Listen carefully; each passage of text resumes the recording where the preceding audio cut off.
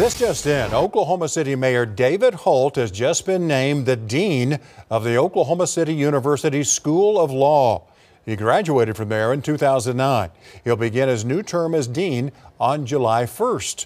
OCU President Kenneth Evans says he believes Mayor Holt has the qualities needed to lead the law school into its next era. Now, you may be wondering, how does he balance that with being mayor? Well, we'll ask him about it when we have a chance and find out what he plans to do there.